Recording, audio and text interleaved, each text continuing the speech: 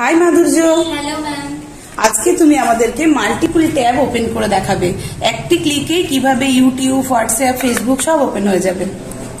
এটা করার জন্য প্রথমে গুগল ক্রোমে গিয়ে যে কোনো তিনটে সাইটের লিংক যেমন ইউটিউব হোয়াটসঅ্যাপ ফেসবুক এগুলোর লিংক কপি করে নোটপ্যাডে পেস্ট করতে হবে।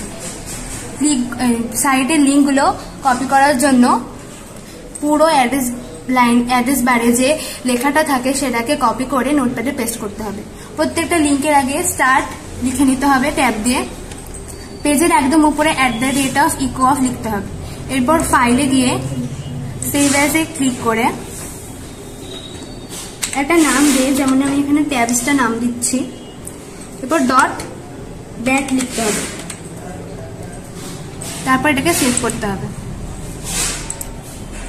এরপর আমি ডেস্কটপে গিয়ে দেখলাম এখানে ট্যাবস নামে একটা ফাইল ওপেন হয়েছে। তাহলে এটাকে আমি যদি ডবল ক্লিক করি, তাহলে সবকটা সাইডের লিঙ্ক খুলে যাবে।